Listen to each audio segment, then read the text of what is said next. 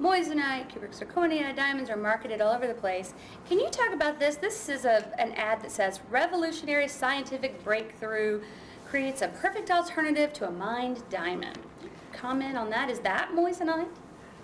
no, uh, this, in my view, is an extremely misleading ad for the simple reason that it speaks of a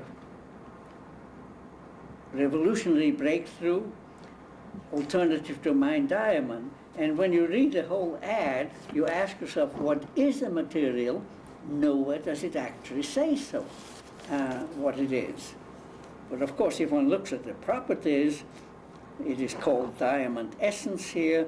The properties are exactly those of cubic zirconia, which has been on the market for 30 years, so it's not exactly a revolutionary breakthrough.